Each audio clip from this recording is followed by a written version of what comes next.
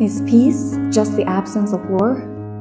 This question occupied the mind of renowned researcher Johan Galtung. Galtung is a Norwegian sociologist recognized as the principal founder of peace and conflict studies. He also created the concept of peace building, which aims to prevent the root causes of violent conflict through the establishment of sustainable peace. As an advocate for peace by peaceful means, Galtung defines his approach in the following way. By peace, we mean the capacity to transform conflicts with empathy and creativity, without violence, a never ending process. By transforming conflicts, we mean enabling the parties to go ahead in a self reliant, acceptable, and sustainable manner. By with empathy, we mean the ability to understand the conflict also in the ways the parties understand the conflict themselves. By creativity, we mean channeling conflict energy toward new, innovative ways of satisfying basic human needs for all. By without violence, we mean that this process should avoid both any threat or use of direct violence that hurts and harms, and any use of structural violence that demobilizes the parties. But how can this empathetic, creative, and nonviolent transformation of conflicts be achieved? According to Johan Galtung, Part of the answer is to change the way we think about peace processes.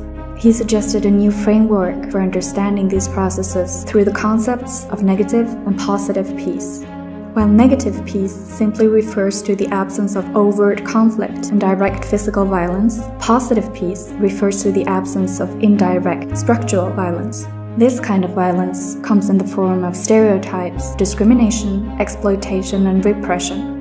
Positive peace, then, is not just the absence of war, but the presence of social justice. Building on Galtung's concepts, the Institute for Economics and Peace defines positive peace as the attitudes, institutions, and structures that create and sustain peaceful societies. So, what exactly are these attitudes, institutions, and structures? According to the Institute, they are the eight pillars of positive peace well functioning government, equitable distribution of resources, free flow of information, good relations with neighbors, human capital, acceptance of the rights of others, low levels of corruption, sound business environment. Well functioning government can be broken down into two major domains. The first refers to the government's effectiveness, its activities, and the rule of law. The second domain refers to the way in which the government shares the same vision as its citizens, that it is accountable and allows its citizens to have a voice in decision making. This might entail how it manages public resources, responds to external shocks, or engages the community in decision making. This also extends beyond the political sphere to that of civil servants who administer the day to day operation of government. Equity describes the extent to which individuals and groups are treated fairly, regardless of their personal characteristics such as social position, race, religion, or gender.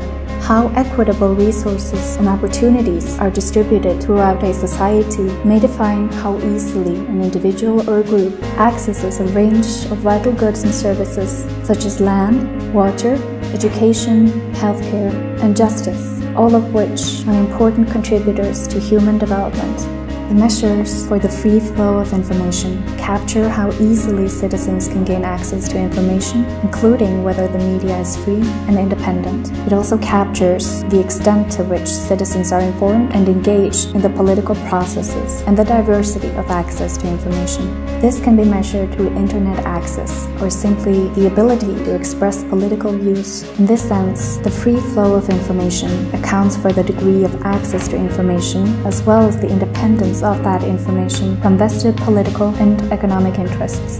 This pillar refers to the relationship between individuals, communities, and states. While this pillar is expected to be strongly linked to the acceptance of the rights of others, it is different as it measures the quality of relationships between the groups within a country as well as the quality of the relations with its neighboring countries. An indicator of these relations could be the extent of regional, economic, and political integration, attitudes to foreigners, and intergroup cohesion. Human capital describes a country's stock of skills, knowledge, and behaviors. This concept is associated with individuals' education, health, and attitudes, which materially impact their contributions to their communities. This category includes both the formal institutions that ensure basic rights and freedoms, as well as the informal social and cultural norms that relate to the behaviors of citizens. These factors relate to tolerance between the different ethnic, linguistic, religious, and socio-economic groups within a country. Corruption describes the abuse of a position to gain undue advantage. This might occur through government, business, or community relationships. It might include a range of actions, such as